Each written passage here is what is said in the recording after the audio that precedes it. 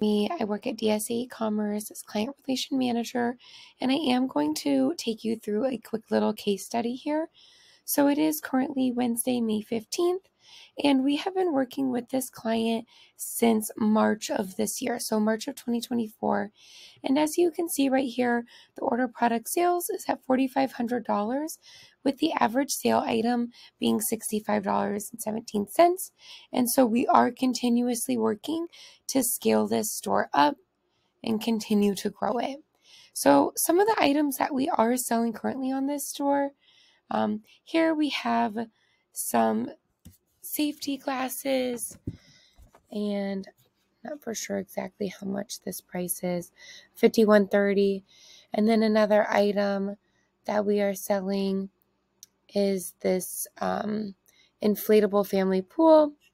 So there's a couple of different um, price options for this as well. Um, but we do sell a variety of items on our storefronts. But if you have been searching um, or been interested in starting your own e commerce business, go ahead and go to dsaecommerce.com and schedule a free strategy call with us. Our model that we use focuses on getting brand approvals from different suppliers and manufacturers in the US and then getting their inventory at a discounted rate.